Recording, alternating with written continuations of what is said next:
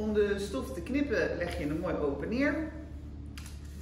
Dit is uh, een stofje wat we gaan gebruiken voor uh, de binnen- en de buitenkanten. Dus we pakken het grote patroondeel. Je spelt het vast op de stof.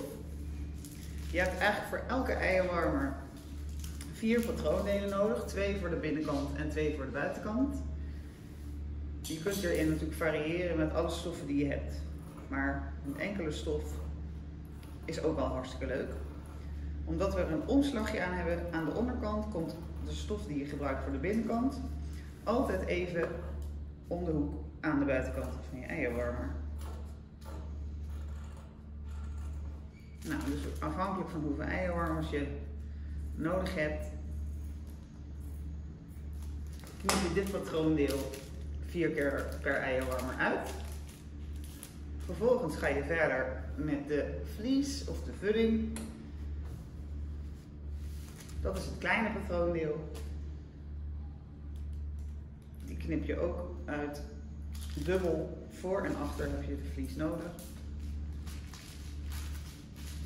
Op precies dezelfde manier. En dan ben je eigenlijk al super snel klaar met knippen.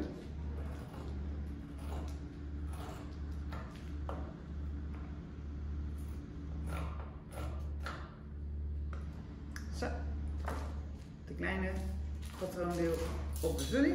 En hoe zie je nu het verschil? Kijk, als je dit op elkaar legt, zie je precies hier extra ruimte. Dit wordt je omslagje. De omslag wordt zo niet een dikke rand, maar gewoon een subtiel detail.